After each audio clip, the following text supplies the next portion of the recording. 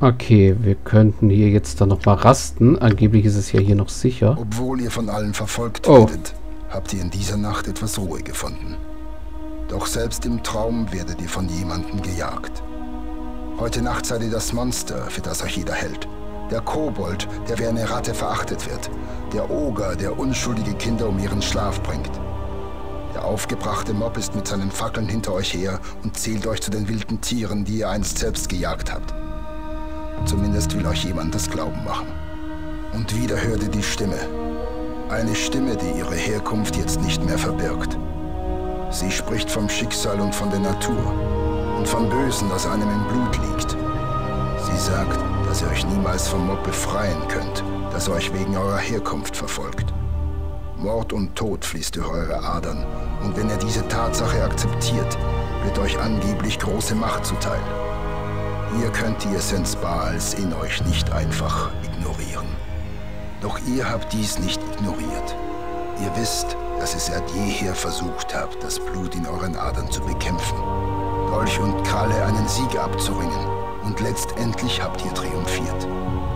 Mit rechtschaffener Willenskraft habt ihr die bösen Kräfte in euch zum Guten gewendet. Was auch immer der Ursprung eures Daseins sein mag, ihr habt euer Wesen selbst geprägt. Mit leeren Drohungen, was die Stimme jedoch nicht weiß, versucht sie Zweifel in euch zu sehen. Doch in eurem Gewissen können sie keine Wurzeln schlagen.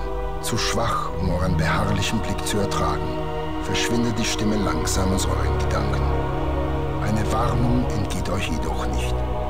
Sie spricht von anderen, die zuhören werden, wo ihr eure Ohren verschlossen habt, die das aufnehmen werden, was ihr abgelehnt habt, und wieder anderen, die euch den Tod bringen werden. Diese Beschreibung trifft nur auf einen zu, und ihr wisst mit Sicherheit, dass es sich nur um diesen Mann handeln kann.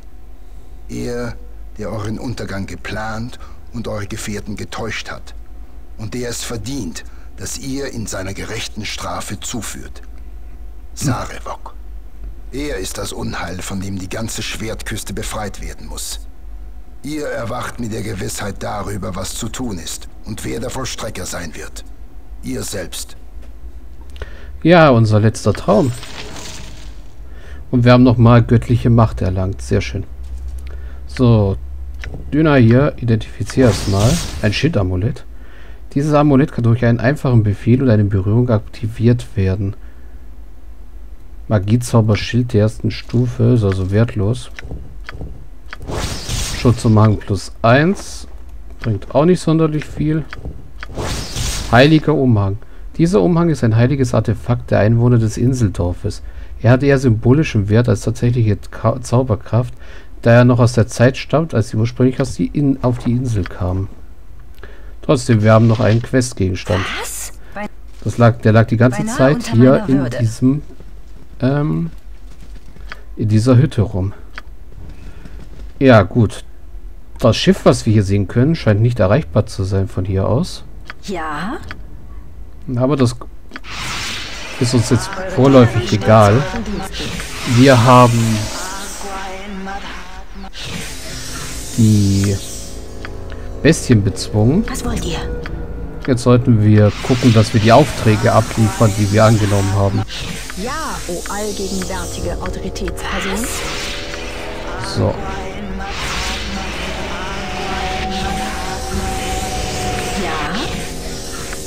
Du heizt sie. Ihr habt eine Aufgabe? Du heizt sie.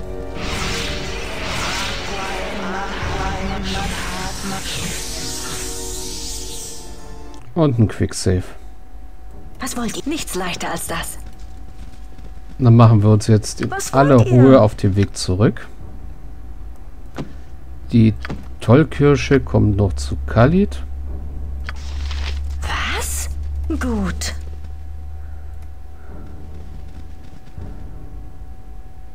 Und wir kommen hoffentlich ohne Zwischenfälle, ohne nochmal mit Werwölfen kämpfen zu müssen. Obwohl wir haben ihren Anführer getötet. Also müsste nach der Logik aus dem einen Buch, Gorayen wäre auf eure Taten stolz. äh, nicht bei Durans Logbuch, sondern Radels Rezepten, müsste jetzt damit der Werwolfsfluch gebrochen sein.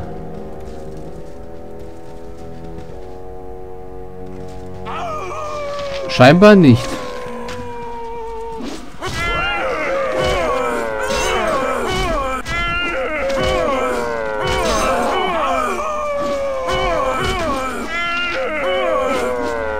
So, haut den letzten um.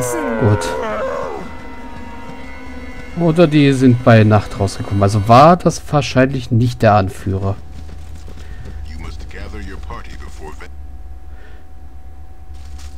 Gut. Ja.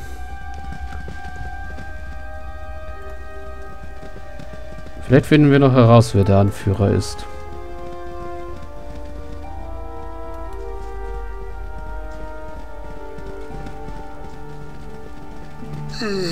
Segen ob bei euch, ihr mächtigen Helden. Meine Pflicht ist hier getan, die Tore werden nun für immer offen stehen. Okay. Sprecht und dann geht. Wir wollen euch nicht hier. Dank sei euch für das Töten dieser schrecklichen Bestien. Um die Wahrheit zu sagen, habe ich nicht viel von euch gehalten, als ihr ankamt. Ja, jetzt muss ich sagen, dass ihr euch, dass ihr euch gut macht im pa äh, Dorf. Er wollte wahrscheinlich Paradies sagen. Hä? Lal war dankbar dafür, dass ich Karuk besiegt habe. Ich habe hier viele Freunde gewonnen. Er meinte, dass ich gut ins Dorf passen würde. Okay.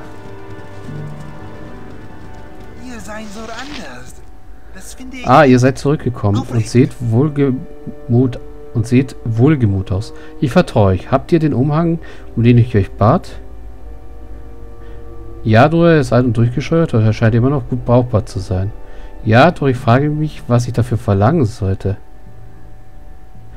Nein, nehmen wir das erste. Ich bin euch eigentlich dankbar, doch auch traurig, dass ich nichts habe zu geben. Vielleicht gibt es etwas anderes, mit dem ich euch helfen kann. Vielleicht darf ich euch ein paar kleine Fragen stellen, mein Herr, ein wenig Hintergrund über euch und die euren. Ihr habt nichts, was ich will, das haben wir bereits festgestellt. Äh, erzählt mir über euch selbst. Von mir? Ich fühle mich geschmeichelt, doch da gibt es nicht viel zu sagen. Meine, Urgroß, meine Urgroßmutter kam mit dem Schiffshaus an Land, doch sie lebte nicht sehr lange. Ich wurde geboren, nur einen Kerzen, Katzensprung südlich von hier, lang nachdem die Bestien vertrieben wurden. Hier lebe ich nun. Die, Geschichte haben, die Geschichten haben wir bewahrt, doch ich würde sagen, dass wir, dass wir wurden verfälscht durch schlechte Erinnerung und Aberglauben. Grob gesehen sind wir alle Kinder. Unser Volk ist noch jung. Ah, aber, hab, aber ich habe nach euch gefragt und ihr habt das Thema gewechselt. Seid ihr hier glücklich? Schrecken euch die Gefahren nicht? Ich habe nur genug von eurem Volk gehört. Überraschung, Überraschung habt ihr keine zu bieten, nur ein einfaches Inselvolk. Jung, aber nicht ohne Charme, genau wie ihr. Was ist eure Rolle? Werdet ihr hier hoch? Habt ihr schon daran gedacht, wegzugehen? Fortgehen? Daran hatte ich nicht gedacht. Wir sehen so wenig andere, dass es unwichtig ist. Ich weiß nicht. Bitte nehmt meine Entschuldigung an, mein Herr. Ich wollte euch nicht kriegen. Bitte erzählt mir von eurem Volk. Denkt darüber nach. Hier werden dies, hier in diesem hinterwäldischen Kaff herauszukommen und einige wirkliche Sehenswürdigkeiten zu sehen. Noch dazu jemand, der intelligent und gut aussehend, intelligent und gut aussehende Männer schätzt. Nein. Es scheint nicht darüber nachzudenken. Da draußen gibt es jede Menge zu sehen. Orte, von denen ihr euch nie habt träumen lassen. Nehmen wir das Oberste. Was davon wollt ihr hören? Wir kamen vor langer Zeit auf einem Schiffshaus an diesen Ort. Aus einem Gebiet weiter westlich als der Sonnenuntergang. Die Forscher schlossen sich uns an und wir hissten die Segel. Die Alten sprechen von einem großen Sturm, doch einige sagen, dass der Sturm kam von innen. Wir, die wir dazugehören, sollten beseitigt werden und wir kämpfen, bekämpften die Forscher. Viele wurden, wo, viel wurde verloren, doch wir gewannen diese Insel. Wir leben allein und werden von den Bestien bedroht. Doch sind wir niemals, niemandes Sklaven und leben in Freiheit. Was meint ihr mit dazugehören? Wir gehören dazu, mehr gibt es nicht zu sagen. Wenn ihr bleibt, müsst ihr ebenfalls dazugehören. Wir sind ein Volk, das hier lebt. Ein Volk. Ihr seid Außenstehender ebenso wie die Bestien. Bei ihnen ist es offensichtlicher, doch ich glaube, ihr seid ihnen in mancher Hinsicht ähnlich. Auch unter uns gibt es das Böse, doch wir haben Respekt.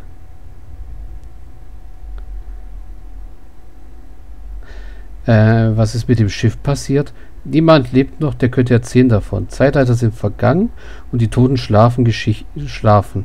Geschichten erhalten keine wirklichen Wahrheiten, sie sind nur Symbole. Wir waren gefangen, dann wurden wir befreit. Andere kämpften, doch wir leben und werden stärker. Alles weitere liegt in der Zukunft und die kennt keiner. Was ist mit Baldoran geschehen? Baldoran, der Forscher, der Sachen verschifft und sammelte, der lieber versenkt werden wollte, als frei zu sein, die Weiten wissen nichts über sein Schicksal, war ihnen alles egal. Was, ihr, was uns betrifft, kann er unter den Bestien leben. Wir sind besser als sie und er. Okay. Ihr habt eine inhaltsreiche Geschichte, selbst wenn sie nur kurz ist. Es ist, hat mir Spaß gemacht, euch zuzuhören. Und ich erzähle und ich und ich des Erzählens. Vielleicht, vielleicht gibt es eine letzte Aufgabe, wo ich euch bitten sollte. Seid ihr gewillt?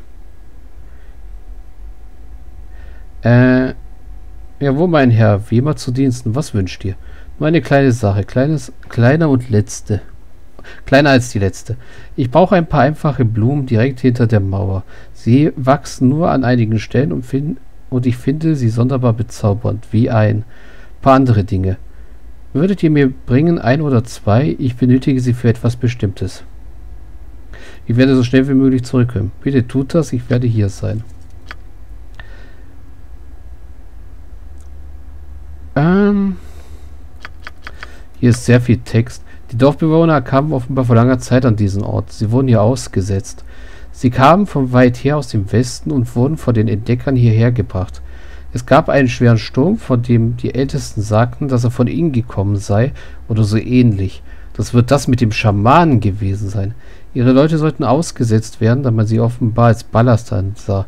Sie kämpften und es gelang ihnen zu überleben und sich hier ein Zuhause aufzubauen. Offenbar weiß keiner der heutigen Dorfbewohner so genau, was aus dem Schiff geschah, das sie hergebracht hat. Sie waren gefangen, jetzt sind sie frei. Hatte Balduran so eine Art Sklaven an Bord? Baldoran war einer der Entdecker, die sie hierher brachten. Er wollte offenbar das Schiff versenken, auf dem sie sich befanden, anstatt sie gehen zu lassen. Sie wissen nicht, was dann mit ihm geschah, und es ist ihnen auch egal. Ich habe mich bereit erklärt, ein paar Blumen für Durlil zu pflücken. Arbeit kann man ja kann man das ja kaum nennen. Die hätte ich ihm vielleicht sowieso mitgebracht. Ich habe den Eindruck, dass mir der Mann immer mehr ans Herz wächst. Nein, Talisa, hör auf. Das ist der Inselkoller, der aus dir spricht. Es macht dir auch nichts aus, dass ich eine Außenseiterin bin. Ich möchte die Blumen haben, die außerhalb der Mauer wachsen, also werde ich mich da mal umsehen. Er möchte die Blumen haben. Ihr seid so anders. Das finde ich äh, aufregend. Ihr habt mir die Blumen gebracht, um die ich gebeten habe, Talisa. Ich warte sehnsüchtig auf sie. Äh, ähm, ja, ich habe sie hier, wie ihr gefordert habt. Ich danke euch. Sie sind, nie, sind sie nicht wundervoll? Sie riechen so stark nach... Ich weiß nicht, nach was... Ich weiß nicht nach was. Diese hier sind geeignet für das, woran ich dachte. Sie sind für euch. Sie wachsen nur an einigen wenigen Stellen, ebenso wie die Freundschaft und andere Sachen auch. Nehmt sie von mir und nehmt diesen Kuss. Ich denke nur Gutes von euch. Ich bin zutiefst gerührt, mein Herr. Ich weiß nicht, was ich sagen soll. Eine bessere Bezahlung könnte ich mir nicht denken. Aber soll es hierhin? Kommt mit mir, wenn ich gehe, und ich werde euch die Welt zeigen. Dieses Gefühl ist an mich vergeudet. Ja, ich habe gewartet in der Hoffnung, dass dabei etwas zu gewinnen wäre. Nein. Nach dieser Süße habe ich gesucht und ihr sollt ihr und ich sollten auf diesem Misthaufen von Dorf verschwinden und uns amüsieren. Ich weiß nicht, was ich sagen soll. Sagt nichts und macht euch bald auf den Weg. Ich muss hier bleiben, gleichgültig, was ich fühle. Ihr seid Außenstehender, ihr nicht gehören zu uns und ihr würdet auch nicht dazugehören wollen. Das weiß ich, ihr wisst es auch. Wenn ihr wünscht, dass ich gehe, werde ich gehen. Es war mir eine Freude, mich mit euch zu unterhalten, Durlül. Vielleicht seht, mal uns, seht ihr nun, dass nicht alle Außenseiter zu Außenstehenden zu fürchten sind. Ich hoffe, einige sind sogar eher charmant. Ich weiß, dass ich weiß nur, dass wir Freunde bleiben sollten, komme was wolle. Ich habe euch in mein Herz geschlossen und ich werde euch nicht so schnell vergessen. Ihr solltet mich entscheiden lassen, was ich weiß. Ich glaube, ich würde vielleicht gerne hier bleiben oder so, sogar euch mitnehmen. Die Bauerntrottel hier im Dorf, nein, das sagen wir auch lieber nicht. Oh nein, ihr könnt nicht einfach solche Dinge sagen und mich dann fortschicken. Höfliche Manieren hin und her, ich lasse mich nicht so einfach beiseite schieben. Übler Verführer, nein. Wenn ihr es wünscht, dann gehe ich. Ihr wisst gut zu schmeicheln mit Worten. Vielleicht ein anderes Mal. Nein, ein anderes Mal werden die Dinge die gleichen. Geht, begleitet von meinen Gedanken und lasst es euch gut gehen. Als ich Doriel mit einem Lächeln Blumen überreicht, mit einem Lächeln Blumen überreichte, wurde ich mit einem Kuss belohnt. Okay, das wollten wir eigentlich nicht so toll wissen. Trotz seiner Zuneigung zu mir war Doriel verblüfft, als ich ihn bat, mit mir vorzugehen. Nicht so sehr, weil ich gefragt habe, sondern eher, weil er, erwogen, äh, weil er es erwogen hat. Wir kommen ihm aus unterschiedlichen Welten, wie man so schön sagt. Er wird mir ein Freund unter Fremden bleiben. Ja, besser ist das. So, jetzt sammle ich aber mal wieder die Truppe. Wir sind jetzt... Wir haben die Trollkirschen behalten dürfen, okay. Äh, so. Jetzt haben wir noch die drei Sachen abzugeben, aber das machen wir erst in der nächsten in der nächsten Aufnahmesession. Ich speichere erstmal wieder. Warte, guck mal kurz, ob alle versammelt sind. Ja, sind sie. Also speichere ich. LP040. Wir nähern uns langsam dem Ende. Wir haben nämlich jetzt nur noch wirklich, wenn wir von der Werwolfsinsel runter sind, Dolax Turm übrigens. Und dann eben das große Finale von Sarivok. Ja, viel haben wir nicht mehr. Also speichern. Und dann sehen wir uns gleich wieder.